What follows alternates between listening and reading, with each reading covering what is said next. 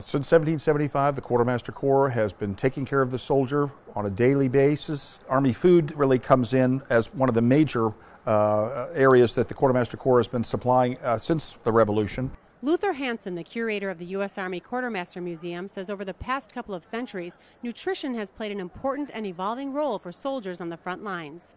The usage of, of different types of soups and, and uh, uh, things like carnation instant uh, milk comes in in the 1850s. Instant coffee, that we all think of as something as really modern, comes in in the 1850s. By 1898, the Army uh, beef and meat ration, the canned beef and meat rations come in. In 1942, the K ration is developed.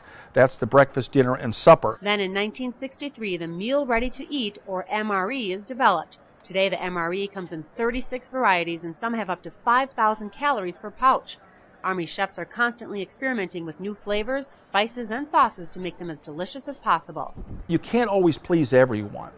It's hard to please everyone, but, but we're trying, the Army is trying to please as many people as they can and make it as uh, nutritious and palatable. It, it um, helps boost morale and it helps the soldier um, uh, fight on.